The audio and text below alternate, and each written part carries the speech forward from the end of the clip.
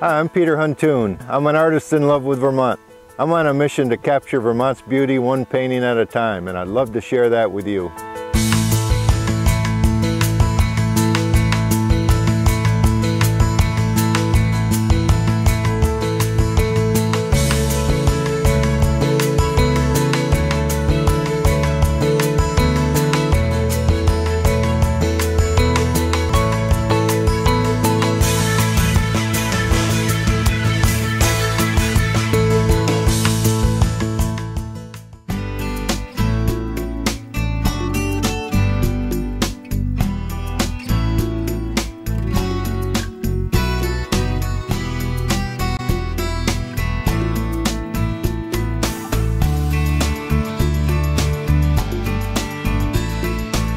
Morning. Welcome to another day in Vermont. We're here in beautiful downtown Fair Haven, Vermont.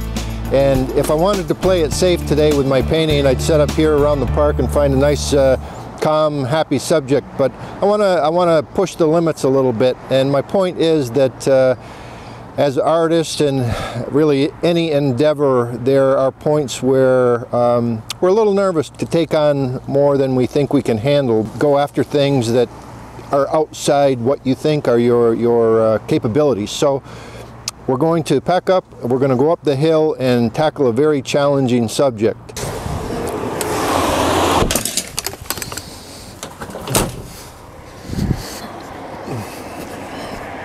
My mom was born in that house right there.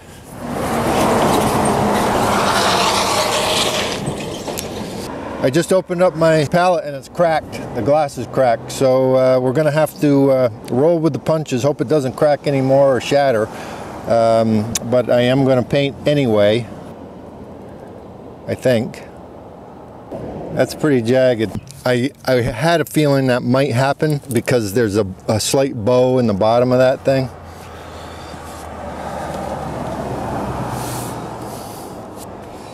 You ever see the show MacGyver? We're gonna have to improvise here.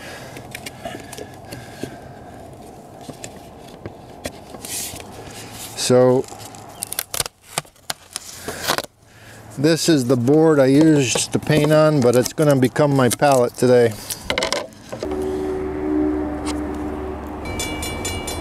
Here she comes.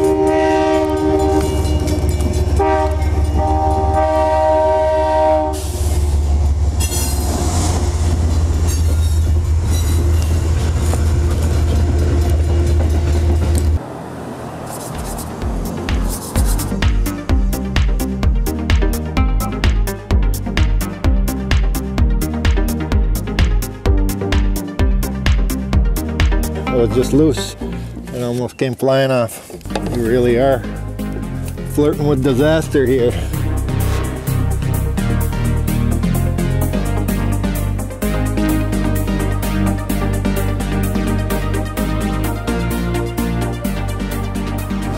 So I did do a little sketch at home from a photograph I took, uh, I think, two weeks ago.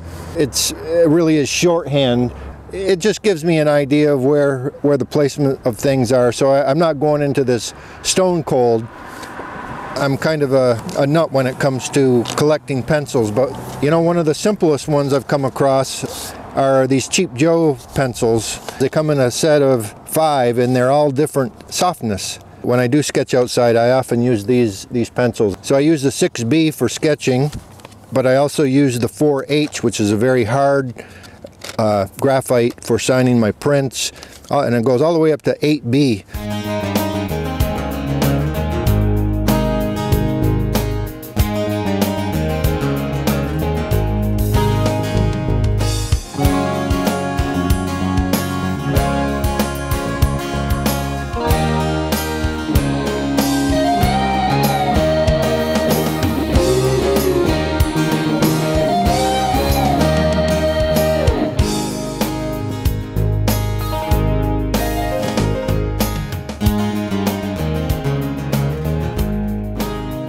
I've come by here so many times and it's always fascinated me because it's it's different. It's uh, there's a lot of contrast. There's that dip in the hill which I'm I'm trying to to capture.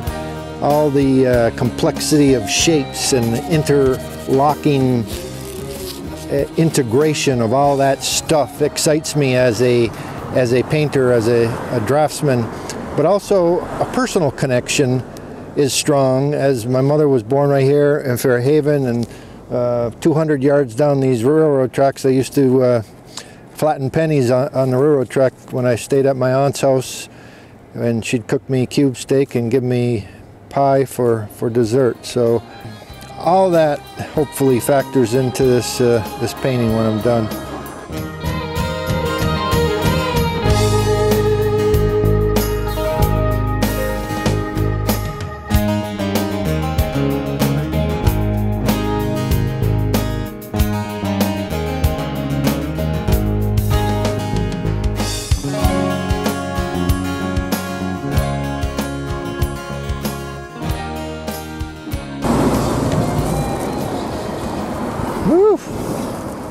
My focus is so so into the painting I don't really pay too much attention about the traffic but it's good training in that if you can paint under the harshest fiercest hey Doug!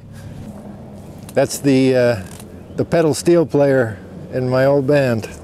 Hey, what's going on man? How you doing? Doing good doing good. Good. What's with the cane Pete?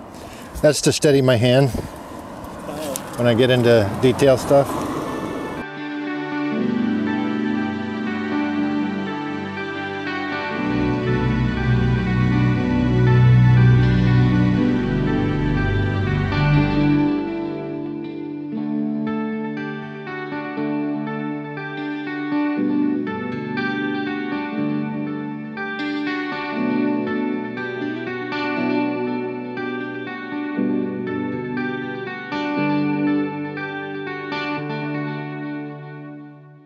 All right, let's put in some, a little bit of sky here.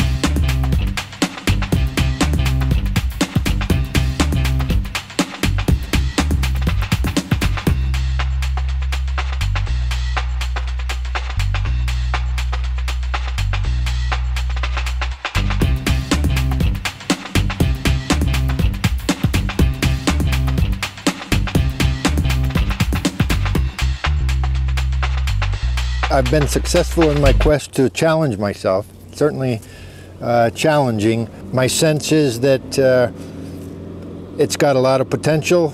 I, am barely in control. I'm barely uh, keeping it together, but I, I am keeping it together. Thanks very much for joining me here in Fair Haven, Vermont for another beautiful day in Vermont. See you again.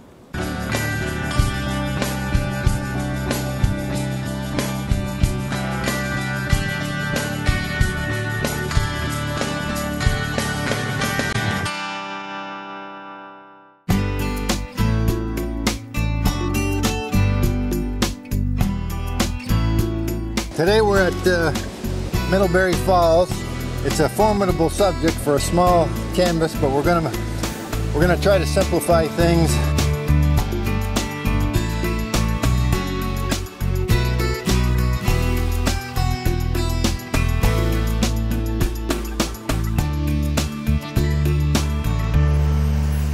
I really like the way the light's coming down, hitting that tree that's just coming into foliage now, that nice yellow is going to make a nice uh, accent point. That's going to be my first order of business.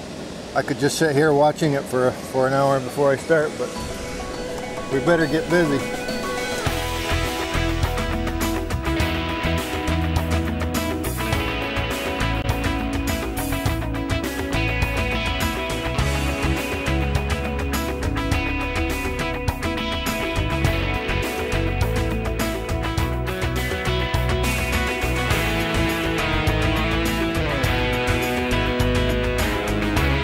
Oh, that light's coming in there just so nice. I want to get it all, but there's no way.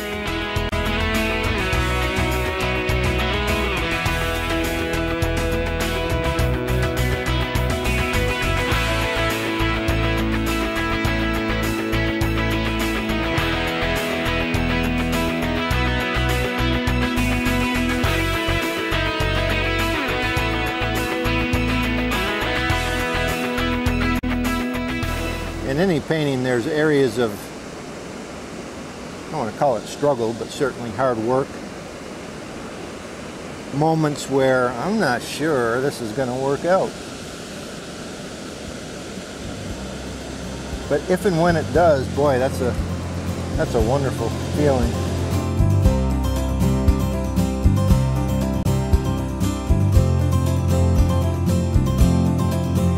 You're stopping to smell the roses, right? All right. To me, Middlebury is a great example of a vibrant Vermont town with, uh, with the arts, with education, and plenty of natural beauty, of course.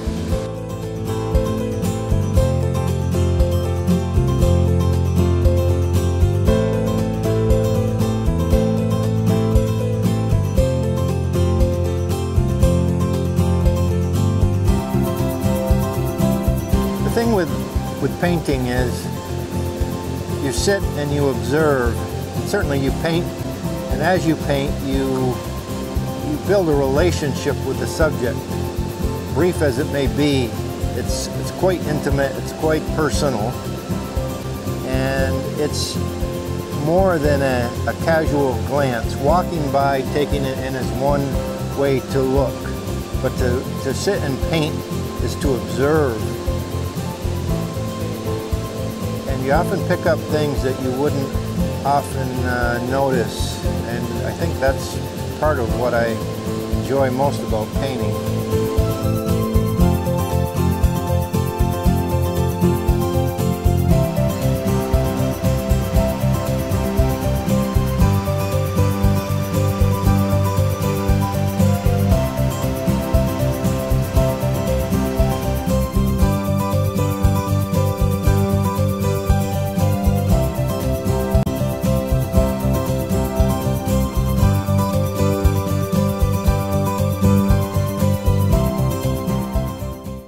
This will be a painting of a covered bridge and I'm pretty excited about getting started. So come on and join me.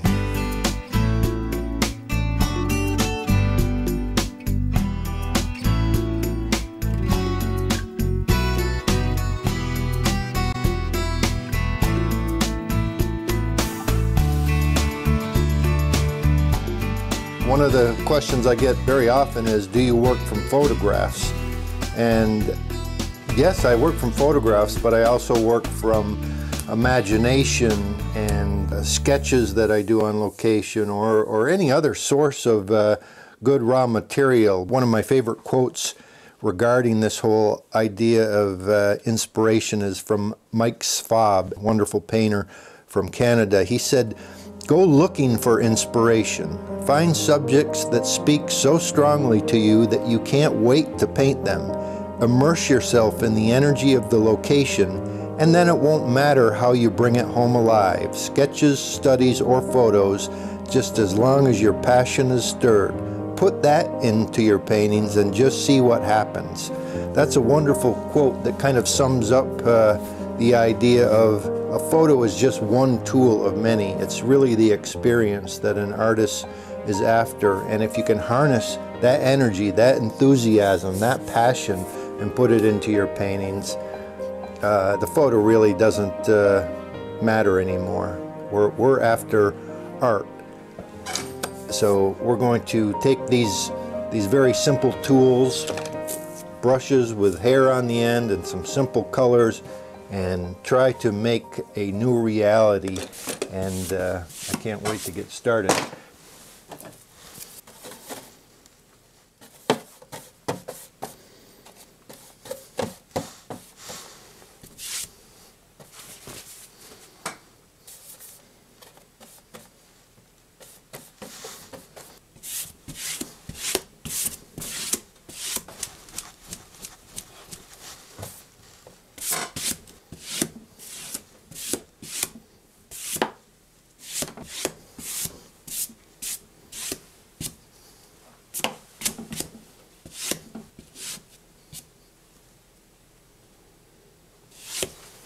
I went to the bridge with the with the intention of getting down here, but the snow was so deep a couple of weeks ago, I, I couldn't get down there. I didn't have snowshoes.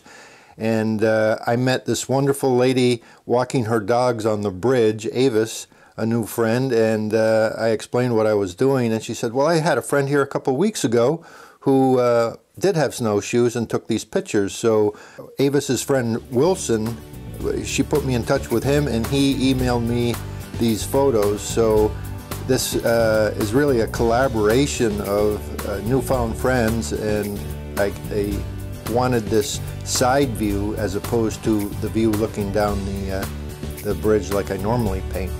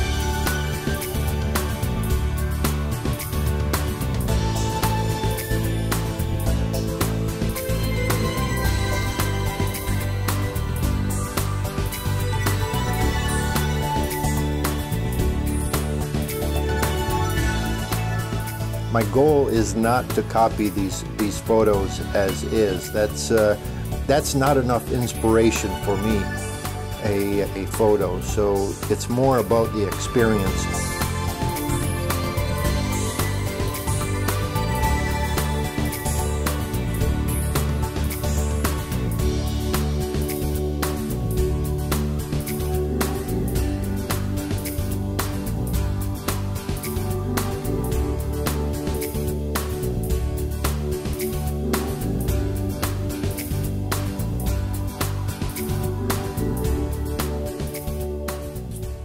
Obviously I've used pieces of both photographs plus my own imagination and interpretation. I've got, you know, the composition. I, I like this lead in here from this particular photo, but I like the, the, the bridge pushed back a little bit.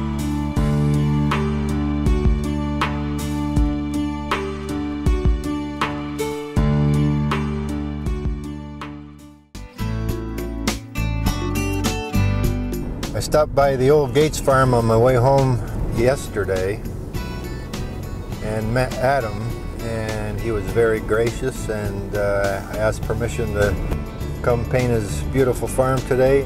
I don't know what we're going to paint today but it's going to be good.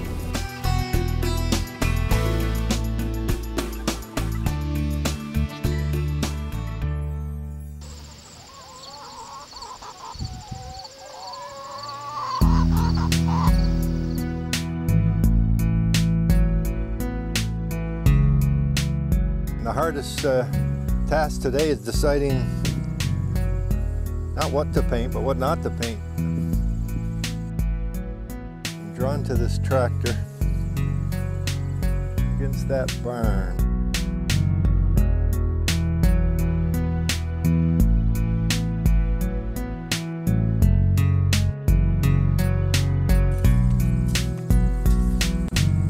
So for the next two hours, we're going to be doing a little dance. A dance with the paper and the paint and the subject. There's so much good stuff going on here. I'm going to have to be selective in what I want to focus on. There's these gorgeous, gorgeous flowers leading up to the tractor, the barn, and then the, uh, the farmhouse in the distance. Sunflowers are clamoring for attention over there. Might be almost too much to put in, but uh, we'll see. We'll see.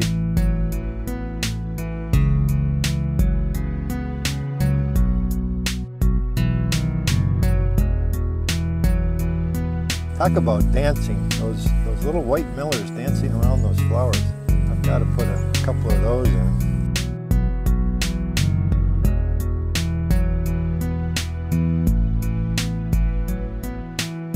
Tractor.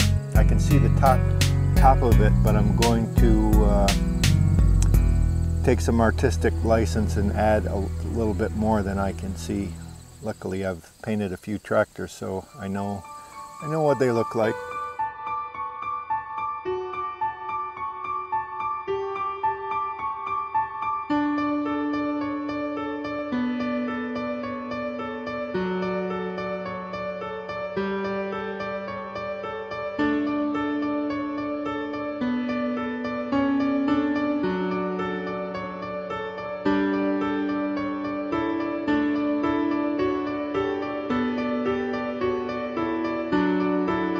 I can't think of a better way to spend a morning than that. What I've taken here, I, I hope I've captured a little bit of the essence, the truth, a little bit of the integrity of not only the scene but of Vermont.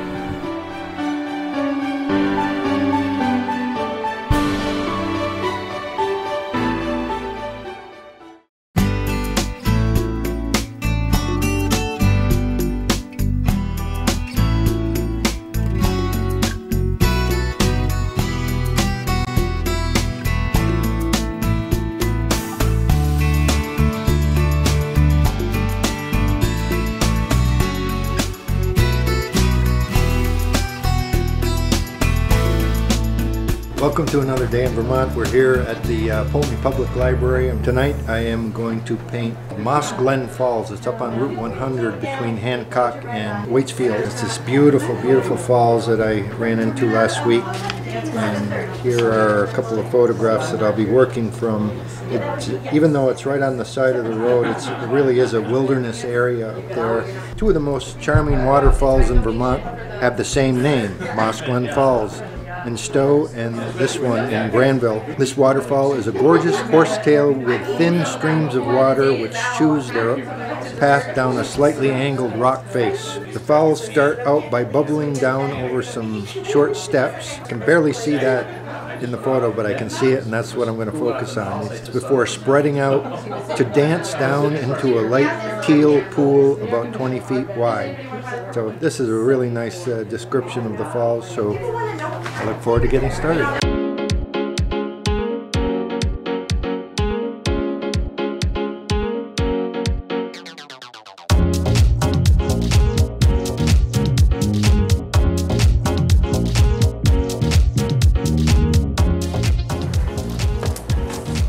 This is one of those techniques, oh, this is fun. And then before you know it, your whole canvas is covered with it. It's a very suggestive medium, and less is definitely more. So you have to pull the reins back once you feel like, wow, I could really go crazy with this.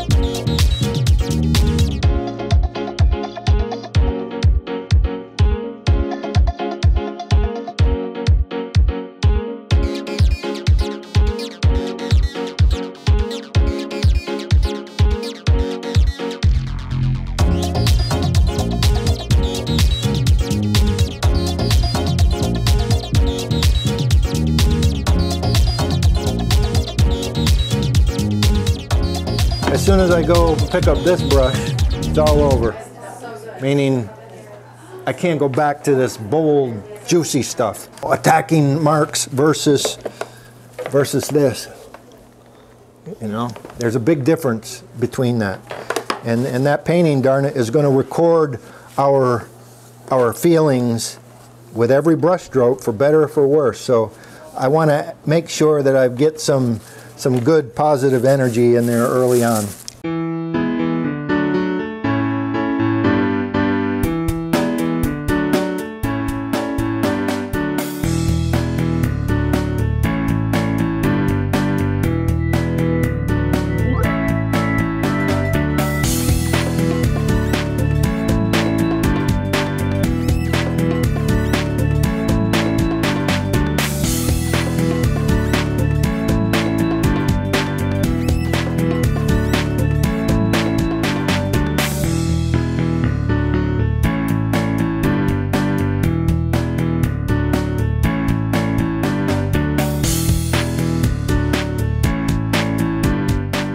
Farther along you get in a painting, the tendency is to get play it safe because ooh, it's looking pretty good. I better slow down and be, be careful.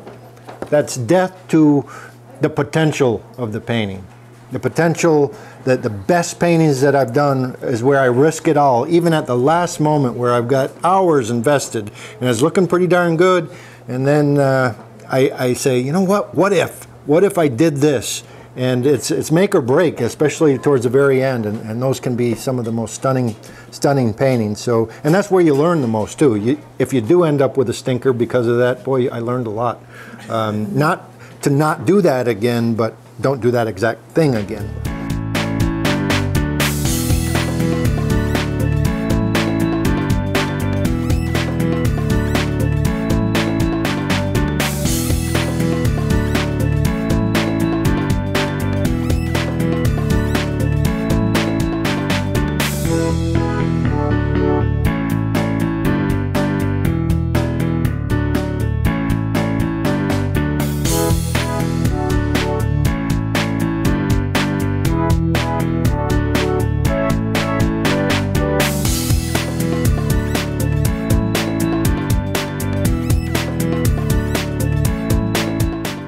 Like greens, violets, blues for this.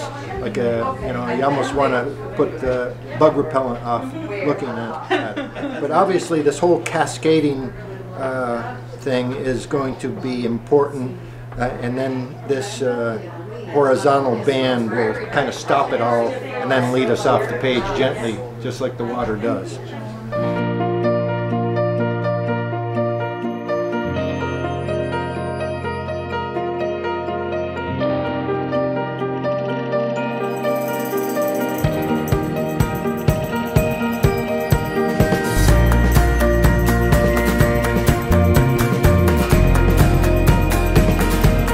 Thanks for joining me for another day in Vermont, and we'll see you next time.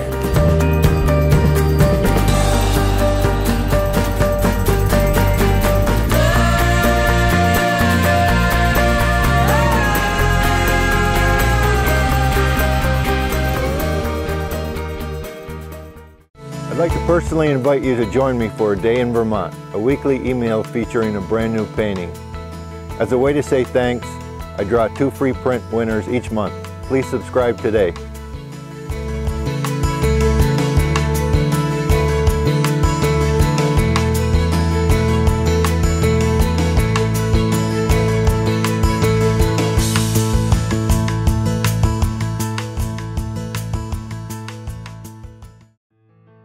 Vermont PBS, partnering with local filmmakers to bring you stories made here. For more, visit vermontpbs.org.